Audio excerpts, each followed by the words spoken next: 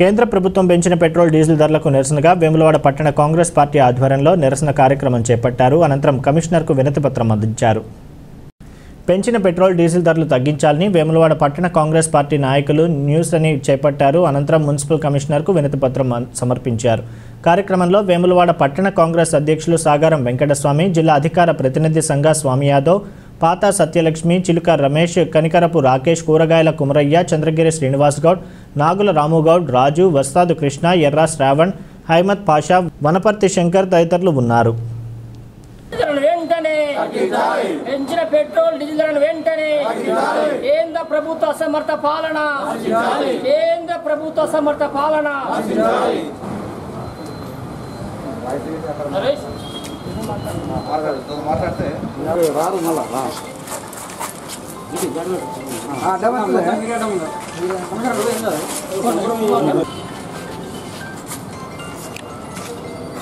పెంచిన petrol diesel వెంటనే కేంద్ర ప్రభుత్వ సమర్థ పాలన కేంద్ర ప్రభుత్వ సమర్థ పాలన అఖిల భారత కాంగ్రెస్ పార్టీ పెంచిన పెట్రోల్ డీజిల్ వెంటనే కాంగ్రెస్ పార్టీ అధ్యక్షుల పిలుపు మేరకు మరియు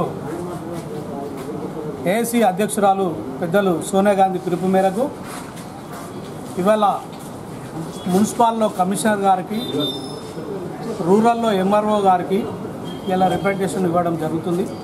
దేనికి అంటే ఇలా కేంద్ర ప్రభుత్వం చూస్తుంటే ఒక ఇరవై రోజులలోనే దాదాపు నాలుగు సార్లు పెంచిన వాళ్ళు సామాన్యంతో దోచుకునే విధంగా ఇలా కేంద్ర ప్రభుత్వం ఆలోచించుడు అనేది ఈ దుర్మార్గమైన చర్యగా భావిస్తున్నాం. పేదరికాన్ని నడ్డి విరిచే విధంగా బలహీన వర్గాలను పూర్తిగా అణగచొక్కే విధంగా ఇవాళ కేంద్ర ప్రభుత్వం ఉన్నది. దీన్ని పూర్తిగా ఆలోచించి ఇలా డీజిల్ కానీ పెట్రోల్ కానీ తగ్గించి ఇలా సామాన్యులను ఆదుకోవాల్సిన బాధ్యత ఉన్నది అని కూడా మనవి చేస్తున్నాం. ఇలా చూస్తుంటే భారతదేశంలో కరోనాగా ఇలా ప్రతి కుటుంబం ఇలా బతకలేని పరిస్థితిలో ఉన్నది.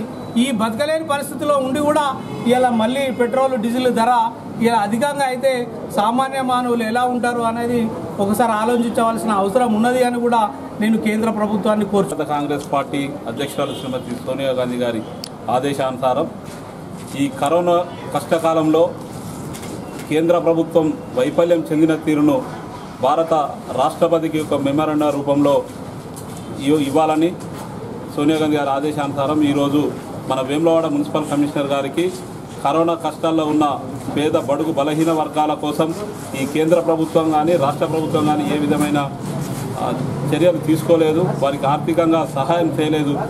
కరెంటు బిల్లులు అధికమైన కరెంటు బిల్లులు రావడం జరిగింది ఒక్కొక్కరికి. ఆ కరెంటు బిల్లు మూడు నాలుగు నెలల కరెంటు బిల్లులు రాష్ట్ర ప్రభుత్వం మాఫీ చేయాలని అదేవిధంగా విపరీతంగా రోజుకు రోజుకు ఇవాళ ఉన్న రేటు రేపు డీజిల్ పెట్రోల్ ధరలు విపరీతంగా పెరుగుతున్నాయి.